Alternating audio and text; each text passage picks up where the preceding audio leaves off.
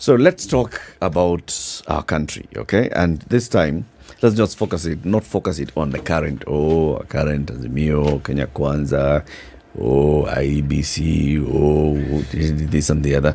Let's talk about the structure of the governance system that you have in the country. And we want to talk about why the Kenyan economic system does not serve Kenyans. Those are not my words or thoughts. Those are the thoughts and words of Mwalimu Mutemi Wa Kiama, who is a very well known activist. He is a community organizer with Kongamano la Mapinduzi. Mwalimu, good morning. Uh, good morning, Eric. Very good. Good Th morning, City. Good morning. Good morning, mwalimu. Karibu sana to Kenya's biggest conversation, Asante sana. the hot seat. To welcome you to the conversation, CT has the day's proverb from the Republic of Congo. Yes. Yeah. If the needle doesn't pass, the thread won't follow. If the needle doesn't pass, the thread won't follow. There are several interpretations to this. Ndu, you can scroll down the mentions column. But Mwalimu Mutemi, when you hear this proverb, what's your interpretation of it? Actually, it's the, perf- the perfect um, introduction to the conversation you're about to have. Uh, Because um, I put it to you that even just listening to the previous conversation uh, with, the, with the gentlemen who have just left the studio, uh, and many of our uh, conversations around this country, is that um, we are treating uh, the wrong thing. We are we are we are addressing or trying to fix the wrong thing. Um, Kenya uh, and most of the states across Africa and, and most of the, the, the, the so-called third world were not created to work for Wanjiku. They were created to work for the colonialists who created them. And we haven't fixed that. Um, we talk about Kenya getting flag independence in 1963, but not really, nobody really fought for independence because uh, if you look at maybe the Mau there were many freedom fighters, but let's just talk about the Mau. They were fighting for land and freedom, not independence. Um, the people who wanted independence at that time were actually the ones who were working for the colonialists because they wanted to be in charge of that colonial state. And they did get independence, but they never fought for it. So the needle and the thread never followed each other. You know, and we keep talking about um, um, the people who fought for freedom actually not getting So that. the Mau Mau are fighting for land, land and freedom. and it's freedom. the Kenyan Land and Freedom Act. What is freedom? freedom is just being able to to to to to, to do what you want um, and On, on your terms. on your terms. On your terms. so you own your land Yeah. and you do what you want on your terms. So that means you govern yourself. You, um, self-governance is a term that was that came from. Uh, it's it's yes, it's self-governance, but that term came from um, the people who actually got the independence. Okay, no, no, no. The so-called For these people who are fighting for this freedom, are they fighting for freedom to to make their own decisions? Freedom to determine what time they wake up, what time they sleep, what they eat, What where grow they work, what they grow in their farms, so they to govern themselves. Yes. How is that different from independence?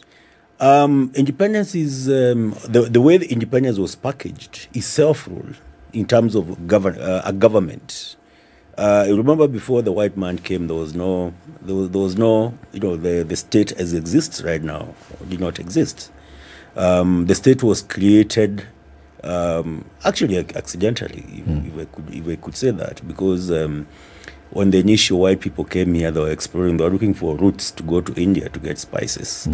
Uh, and then they found um, a very wealthy uh, land, very wealthy, um, you know, uh, unspoiled, wealthy Africa.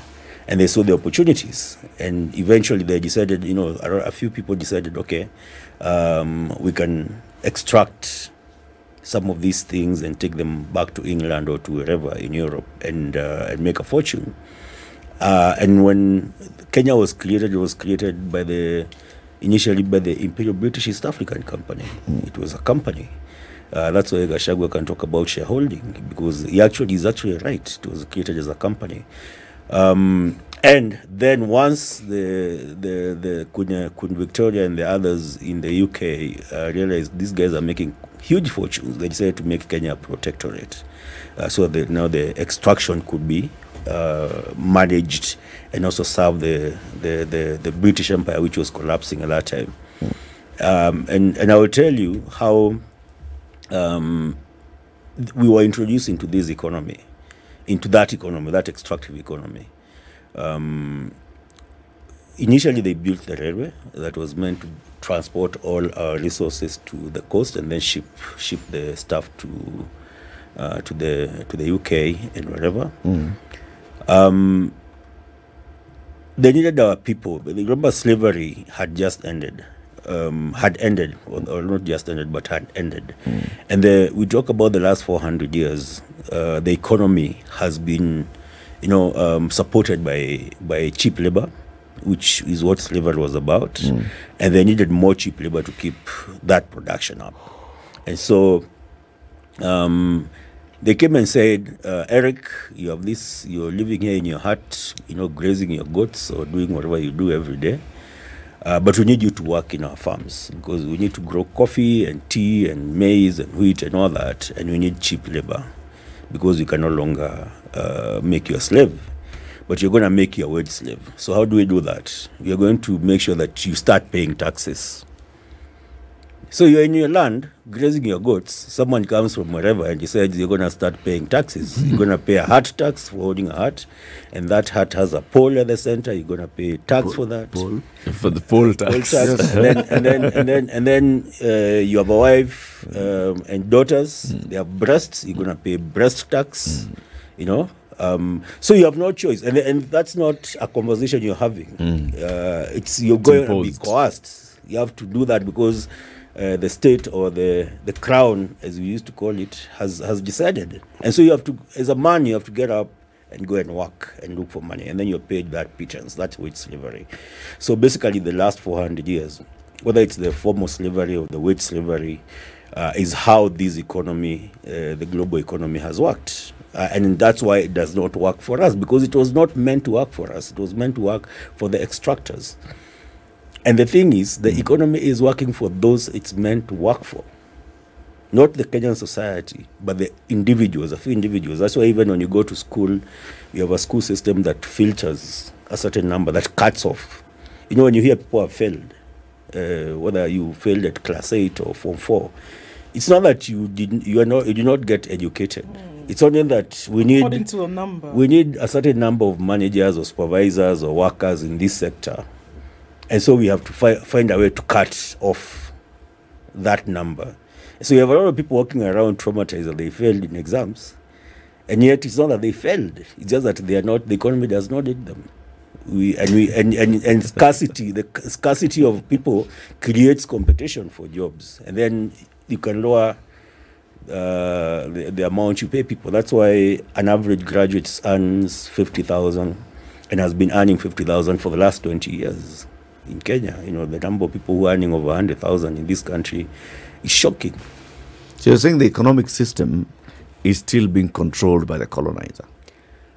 So what the colonizer was very clever is, um, and I think the, the British learnt this from uh, from India when they were, they were leaving India because they were, they were, they were being pushed. And may, they- may, may I suggest that they learned this Mm. within their own neighborhood initially, before they even went to India? Yeah. What they'd done to the Scots, what they'd done Mm. to the Welsh, what they'd done to the Irish. Mm. They had figured this system. By the time they're now exporting this expertise, It worked. the, the, the, the, the experiment, they had seen how it works lo- locally. And, and they refined it. they- yes, they refined it. They refined it. Um, it's been refined in the last, actually, even further in the last 150 years, because the economy, the economic system is, is exists right now. It's just the last one, mm. the feudal system, mm. whereby you you take up all the land, and then uh, you make those who are working that land now come to work for you for for for for for. No, le- le- let's take a step back. wage. The land actually is theirs. You mm. come and take it, mm. you divide it up, and having divided it up, mm. you then allow them to work on that land and then pay you for land which originally. So initially theirs. it wasn't theirs. Yes. Initially it was you know people used to Wananchi. Uh, yeah, just Wanjiku was used land. to go around and Yes. you farm where you want to farm. They so this it. person becomes a king or a lord or whatever. Takes he over says this is my territory, and if you want to survive here, then you have to come and work for me. and you work, you farm, and then you give me uh, a part of your You proceed. your proceeds. That was before the wage the wage economy. Uh, later on, now that became the wage economy, and and I was pointing out to to how the, they also learned that how do you control a population when you don't have the numbers? You're a small group of people. Uh, then you have to use the same people from within the population uh, to control the uh, the others. So what do you do? uh, you create this education system that filters people. Some people you take them to London School of Economics and Oxford and indoctrinate them, then send them back to their own countries to. I'm very specific. To, to, to carry out your wishes. Yeah, to carry out the wishes. If you look at almost all the PMs, prime ministers or presidents, who The first presidents yeah, the first. of the Commonwealth, yes. all of them went to LSE. From Jomo Kenyatta to Moi Kibaki to just look around the Commonwealth. Uh, uh, um, I mean, most of former British colonies, um, or Oxford or Harvard or the Ivy League, because it's a it's a it's part of uh, that system. Then they send these guys back. They're called the corporate elites. These guys do not think they're even Kenyan or African, although they are black.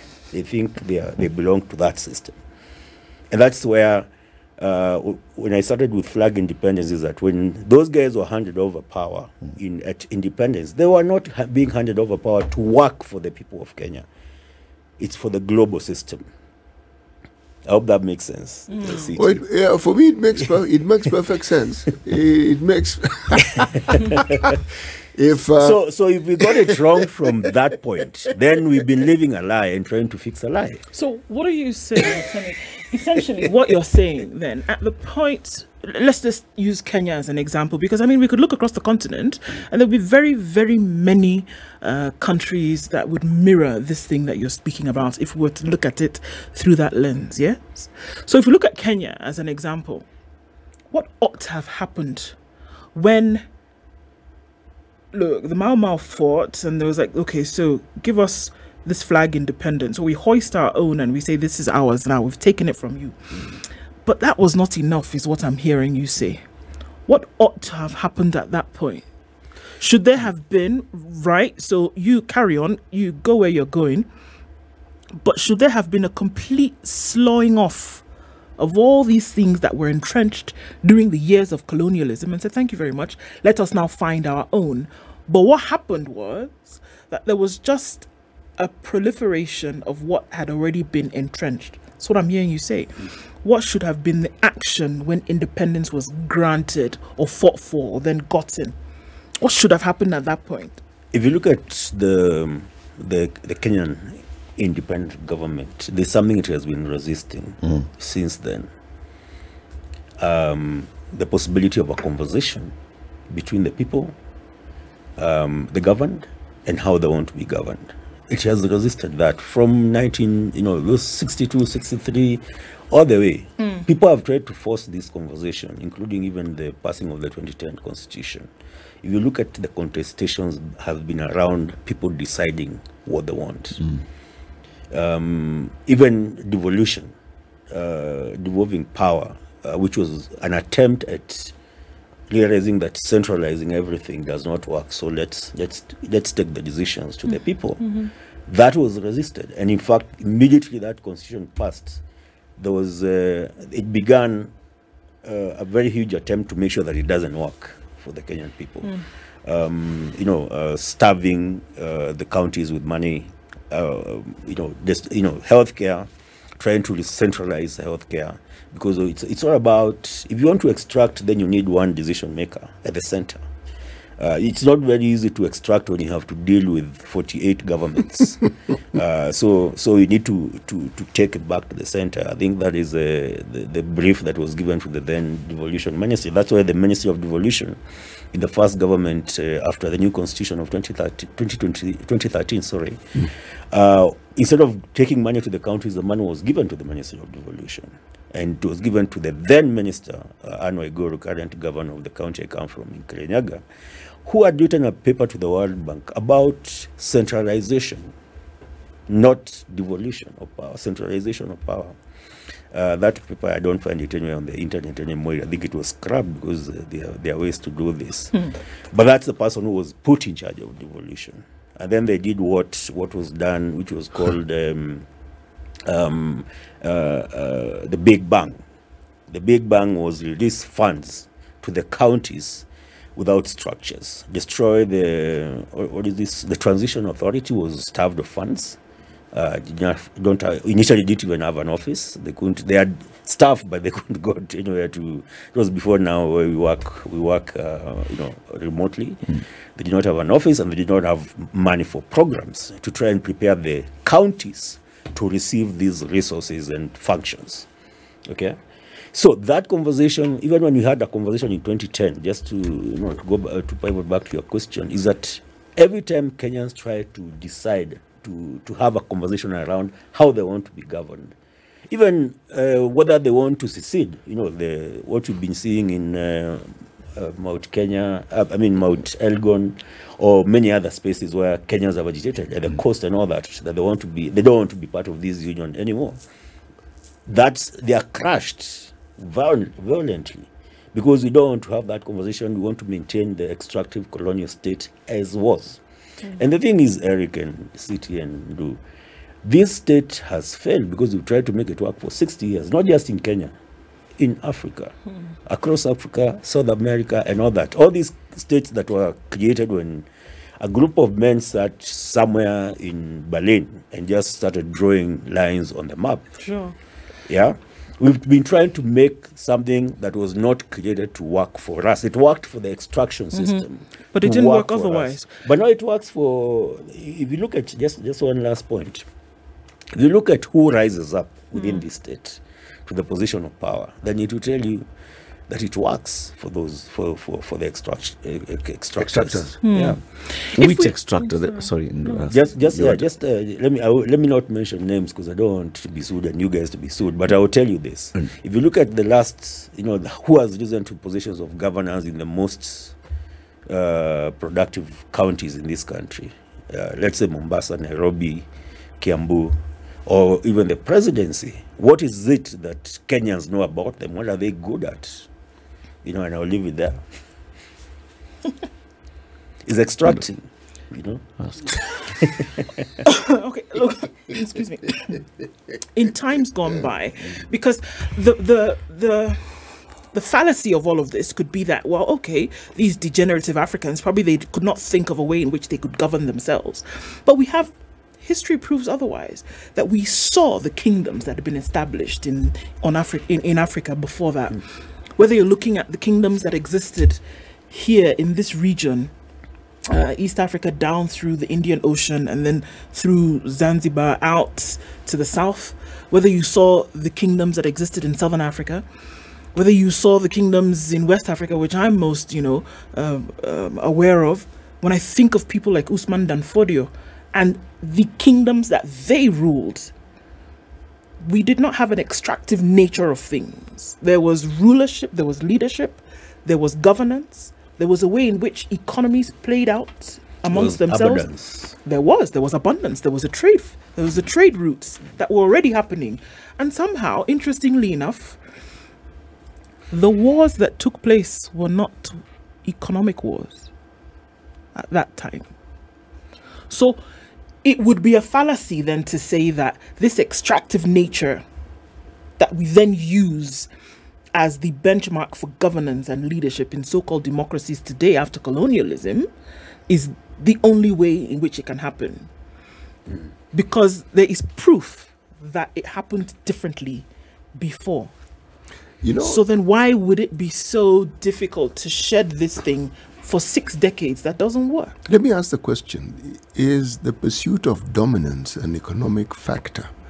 If you look at history of nations and how we're talking about the African kingdoms, for you to create a kingdom, you have to subdue some people. Oh, absolutely. But again, was it an economic factor of a fashion dissimilar to the one that we now see with the European colonialists? Because if you look at even the kingdoms that existed in those regions, there are two European gentlemen who did, well, three really, who did something remarkable. There was somebody called Otto von Bismarck, mm-hmm. the guy called Garibaldi, and the guy called Broz Tito. People who, in that particular time, brought all these wrangling little, little groups and brought them and made them a nation. Hmm. But prior to that, emanating from around Turkey, there was an empire called the Ottoman Empire. You don't you hear of the British Empire. The Ottoman Empire was vast, mm. Significantly. Mm. huge.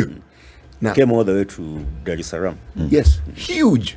But again, the econo- for you to have the sort of military might, there has to be some economic might somewhere. Go back as far back as even Alexander, though one could argue that this issue of economics is what actually killed his his his, his empire because his, his generals got soft. They, they got to places and they're living off the fat of the land.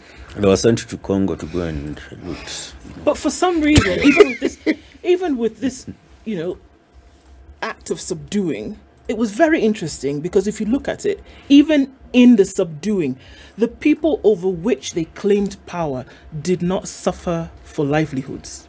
Look, No, they look not. anywhere you want to look. No, no, you you you, You did not have an no, you're extractive. Yeah, they didn't Actually, suffer there's- for what they did was they they- made sure that the people that they ruled over in most cases they're, simi- lacked they're for assimilated you. Yes. Actually, they, they either did assimilation or once they came and you ceded to their power, they'll let you self govern. Go about your business. Go about your business. As long as you pay some tax or whatever allow their goods to pass through. Through.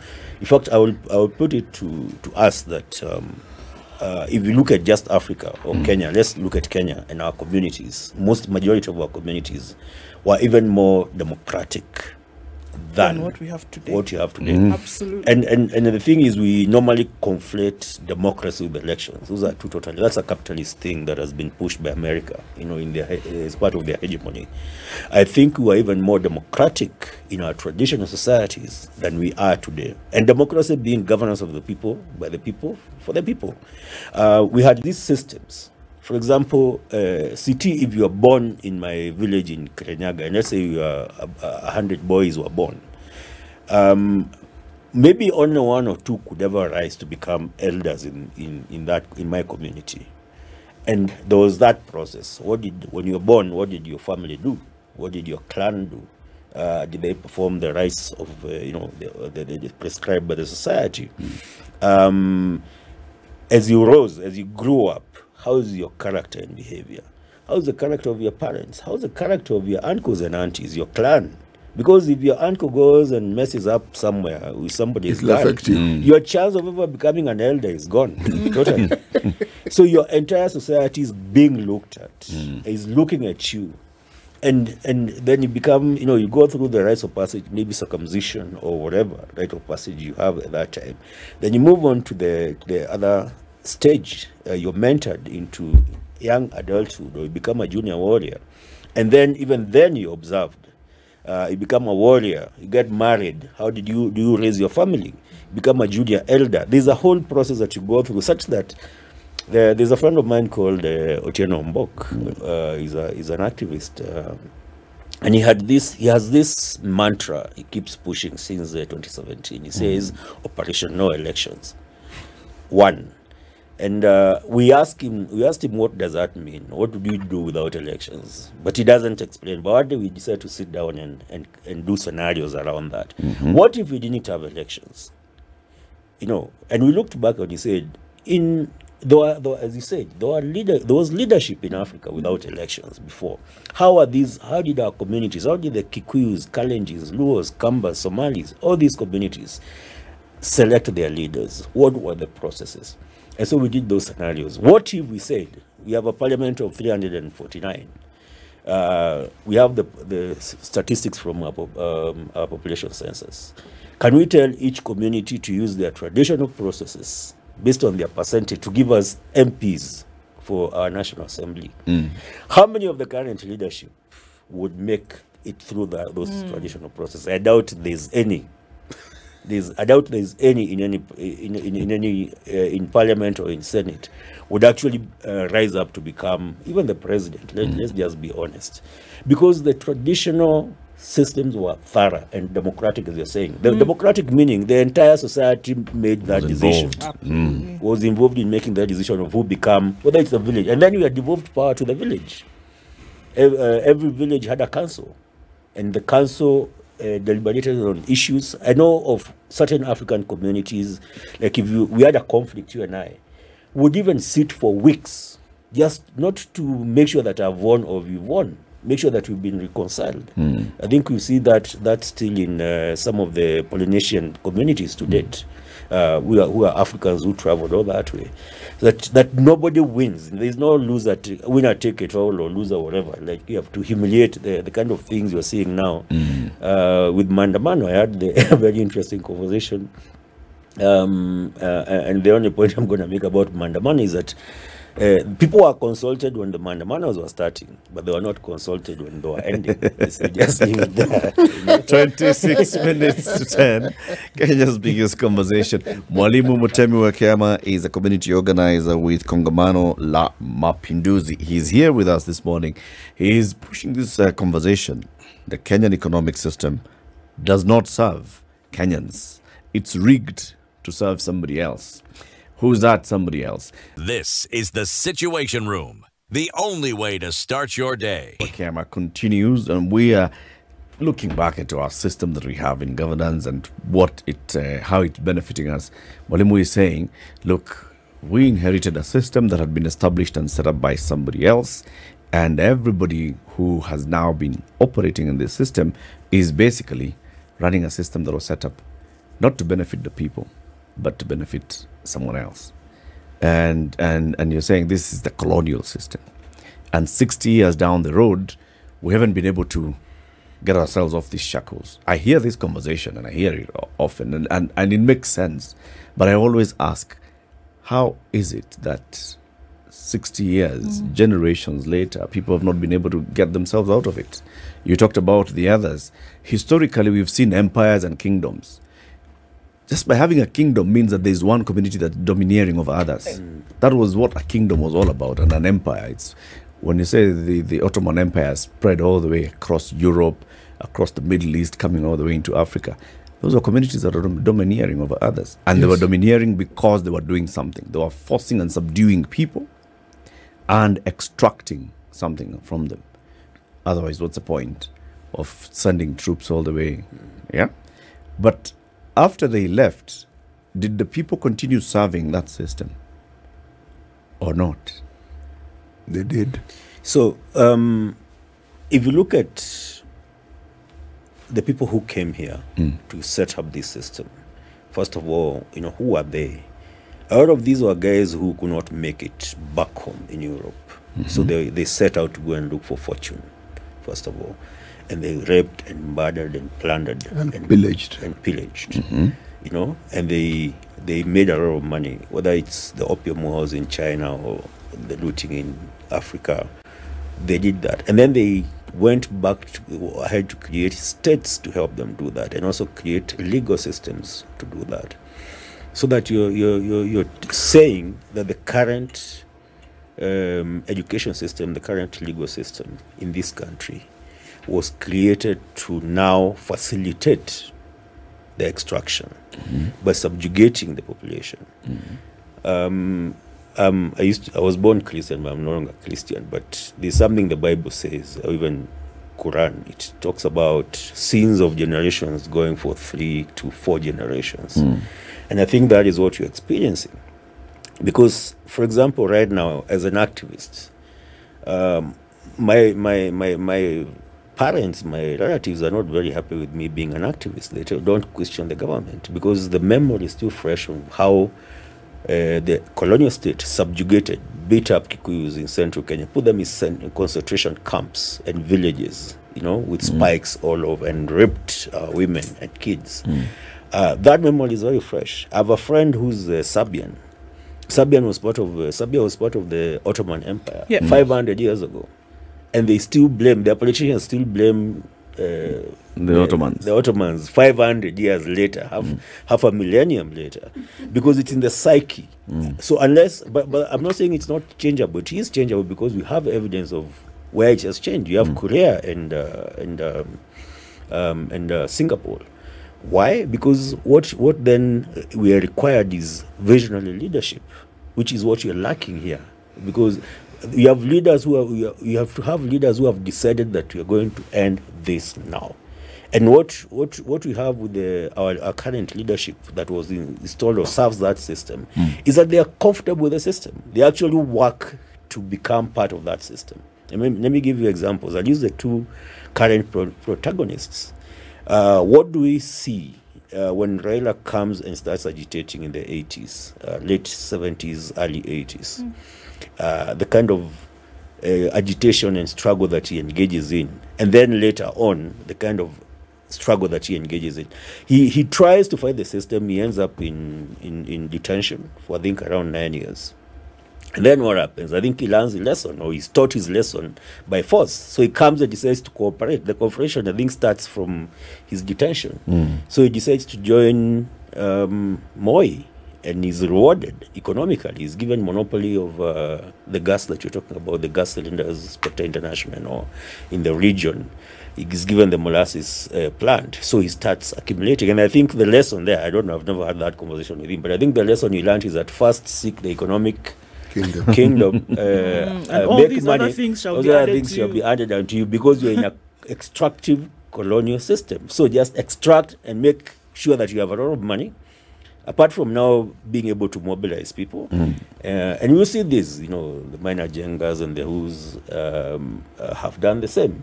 Um, the Sonkos and the Johos and the uh, Kafogos and the Who's uh, extract and make sure that now you have enough economic might now to say, let us sit at the table or allow me to uh, sit at the table so that now we can discuss how, dis- discuss how to divide this cake. mm. William Ruto has also been very good at extracting. That's why he's uh, he has risen and he became the uh, the deputy president of the master extractor.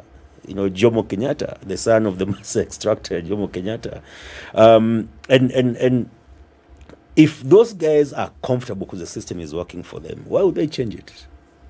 I hope I've responded to your question. Why would they change it? And if those are the leaders who are we expect to change our lives, then, as I said earlier, we are, you know, we are we are we are addressing the wrong problem and the wrong issue. Those guys cannot take us to Canaan. Do you think Kenyans see what you're saying as extraction? Because as you mentioned all those names that you've mentioned, all right, these are apart from let's say the Kenyattas and the Odingas, you could say post-colonial, post-independence.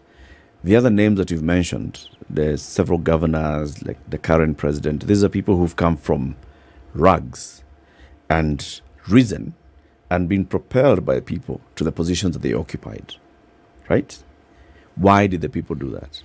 I, or are you people. saying that it's not the people who propelled them? It's not the people that they were propelled them. identified by this system thing, and it elevated them. what they did was they learned how the system works and they made a choice. So it's very being where I am um, as an activist is something called committing class suicide because I, I was trained and taken to you know to a provincial school, Njiri school, and then University of Nairobi deliberately as part of a conveyor belt mm. to serve the system. Mm. But I've broken away from that. I know how the system works. I know how to exploit it. Uh, and the people who are very good at exploiting it, first of all, remember what where, where, we made that point of plunder, rape, pillage, and all that. Mm. That is what the system wants. It wants people who are very good at doing that, and it rewards them. That's why they rise up to positions of leadership.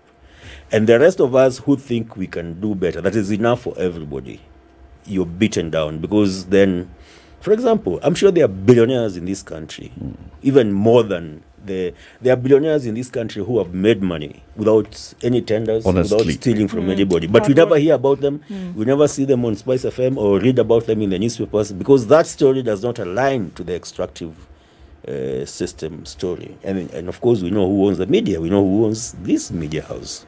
Um, it's uh, you know part of that extraction system. And I don't want you guys to be fired. Um, but but the thing Good is, grief, no, I know you're a good guy. Look, but I know look, who, you know. look, but, but, but, Mwalimu, Mwalimu, You know? this system that you t- talk about, does it have an overseer? Does it have a structure? It's uh, system. Systems sometimes are self.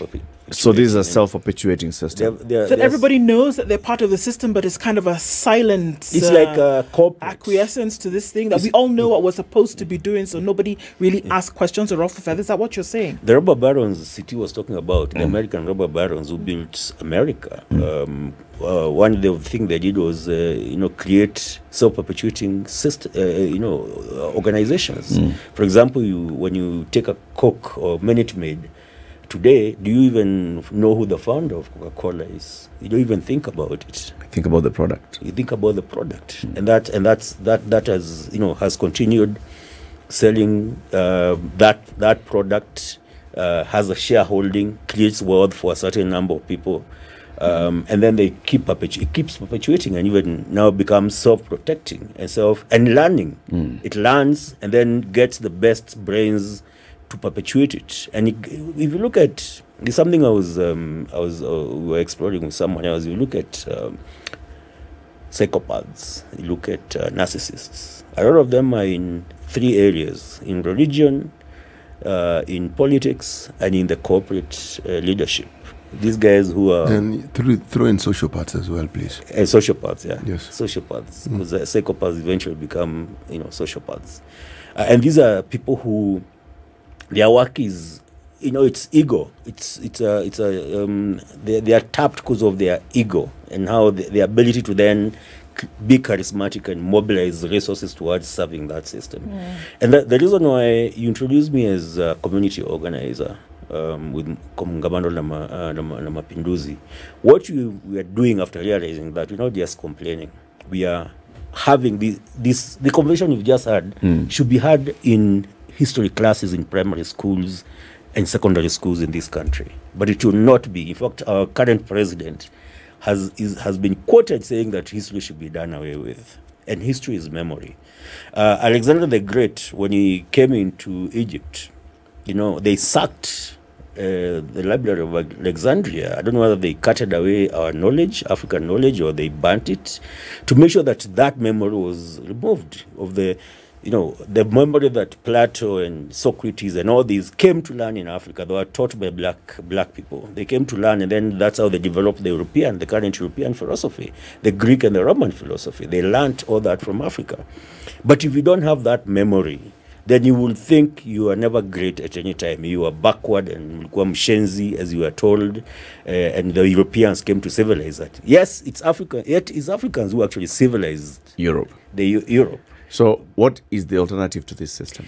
We have to educate, educate ourselves. We have to unlearn a lot of the things that we've been taught, um, and we have to first educate ourselves, and then we have to sit and find ways to move forward because we can't go And back. create a new system. we have to create a new system we have to move forward we have and that's remember the conversation around us coming together and finding solutions because the solutions are from uh, are with the people um, and that is what has been resisted by this system if you look at the constitution 2010 keeps talking about public participation public participation if you look at what the bbi case what won remember, especially at the Supreme Court, there were the, the, the the Court of Appeal. There were five. I think there were five major uh, areas that players that were. But the, the Supreme Court tried to undo, actually tried to undo all of them. But the ones they could not touch were two: public participation, because that was the spirit of that that constitution. Can we have the people decide how to be governed? And I think that is the way forward. And that's why, as Kongamano la Mapinduzi, we are we are not focusing on elections actually, not in the next five or ten years. Or mm. We are focusing on organizing our people, coming together, learning, uh, unlearning. Uh, we do a lot of political education, uh, having such conversations with the people so that people know where they stand. So and you want to create a new system. We are working to create a new system. And we want to take over. How do we trust that this system that you guys want to create will serve us better than the current Considering that is a system that will be created by human beings.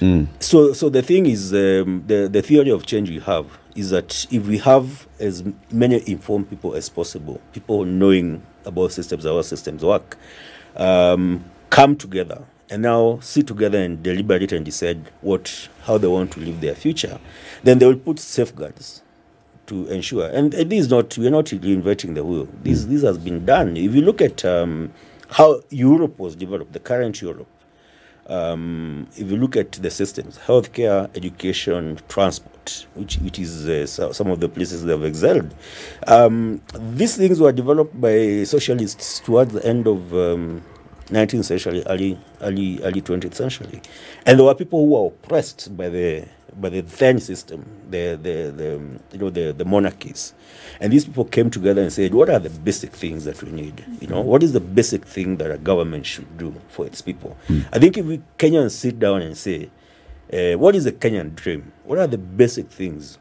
I want to be able to take my kids to school." Um, and, and not pay through the nose. I don't want to be part of a commercialized education system. Ona Manuel, uh, because uh, a state that wants uh, a, a, a population that pays taxes then needs to make sure that they're healthy. So let's have a good healthcare system. Let food be affordable. Let people move from one place to the other easily. Like, like let's not be struggling with these basic things if you want to build a nation. And then people will say, how do we achieve this? You know, for example, I, I give an example of um, a lot of our studies, and I'll, I'm going to do profiling. Uh, we talk about cooks and uh, and watchmen, and we talk about lawyers. Uh, a lot of the watchmen around here are lawyers, and they come from. I, I, I- I know quite a number who have huge tracts of lands in uh, in Western Kenya, but they come and because of the wage economy, they want to come and work for small amount of money in Nairobi so they can get cash because maybe you know the, the cost of food or rather farming would be would be very high.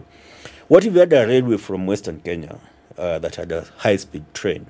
Because uh, these guys now live in Kibra, Kawangware, wherever, in very deplorable situations. But what if we dignified them by making them live in their own home, in their own land, uh, in Kakamega or in Bungoma or in Mumias or wherever? Mm. And they took a high speed train at 6 a.m. in the morning, and within two hours they are in Nairobi or, or, or whatever time they're in Nairobi, they come and do their work, get on the train in the evening, and go back. So that when even the money they make, they can invest back to develop their farms. You know, just that's just a wild thought. Uh, so what if we had a government that then decides, okay, so we don't want everybody to come to Nairobi to look for for opportunities. Yeah, stay home. Uh, you stay at home. But isn't, isn't that what devolution was supposed that's to what create? it was supposed to do. Yes. But then uh, remember the the, uh, the the the Big Bang destroyed that because the, people who became who became governors were the former MPs, and of course they knew if you release money once at once without systems, what happens? They're going to steal it. But let me ask you this question, Mwalimu. Which country in the world can you say is not extractive? Which country has rather leaders who are not extractive? Because the communists experimented with us, the socialists experimented with their ideas, and when you look at the leadership, they were still extractive. and that is the thing that's that's uh, you could call it human nature so again that's what you do. You put systems to counter that human nature. That's why scandinavia has been thriving. Because it's it's not said we're going to be capitalists uh, we're not going to be communists or socialists. It's picked the best what can work from each of these systems. you could argue they are what you call a welfare state. which is uh, what you're discussing here, yeah. what Yeah. you're discussing here, meaning the focus of ensuring that the Mwananchi actually feels that this thing they call the government is actually looking for their interest. and you can see it. That's actually what I'm pushing for. Eh, You know, the the the the, um, the communism versus socialism versus capitalism Yeah. debate. Yeah. Uh, oh, oh, oh, made, made, made it very hard for people to actually have these conversations openly. I, I, I remember when, which party was it? CPK, Communist Party of Kenya was changing from SDP. Uh, and the registrar of political parties said, Kenya is a capitalist state. You can't have a cannot communist have a party." communist party. and then she went to court and she was asked by the judge, uh, which Where, statutes are you where did he say? you know, but it's but it's in, it's it's been hammered into us that we're capitalists, and people don't even ask themselves what capital capital capitalism big capitalism mean. If you look at how we solve our problems as Kenyans, as they're struggling this economically, mm. if I'm unable to fundraise for my own, let's say I want to do a master's. I would call my friends and family. If I have a hospital bill I can't pay, or even the the mama, mama mboga, they form chamas where they they pull their resources We to call be it able to table achieve banking. things. What is that? That's socialism. That's actually how. But even uh, to the higher level, when America had the, the economic crisis in 2008, yeah. um, the capitalists destroyed the economy. They were going to destroy the global economy. How was it solved? They are to be, be bailed out by the resources from all From others, Americans. That's yeah. a socialism. I mean, mm. what do you call that? If you have to think about it. so humanity solves problems when we come together and think together, and that's what we are doing as Kongamano Mapinduzi. We are thinking like, how can we? Let's not start fighting, not keep fighting the system. Can we organize ourselves to be able to solve some of these solve problems and issues. hopefully maybe build a new system? Mwalimu, you've started off today by showing us where the problem is. We'll invite you so that you can now come and start showing us, okay, what would this other system look like and how can we get there? But thank you for joining us today. Thank you so much for the opportunity to have this conversation. Asante sana. Mwalimu Mutemi Wakema is a community organizer with Kongamano La Mapinduzi. Mapinduzi.